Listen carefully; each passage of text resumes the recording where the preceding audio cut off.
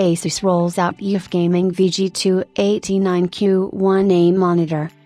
In addition to the RT-AX68U router, Asus today rolled out the TUF Gaming VG289Q1A gaming monitor. This 28 inch flat screen monitor features 4K Ultra HD, 3840 by 2160 pixels, resolution which it puts out using an IPS panel. The panel offers 178 degrees viewing angles, 90% DCI-P3 coverage, HDR10, 10 BPC color, 1.07 billion colors, 60 Hz refresh rate, and 5 ms response time.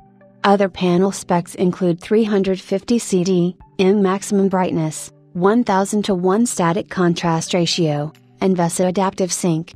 Display inputs include a DisplayPort 1.2 and two HDMI 2.0.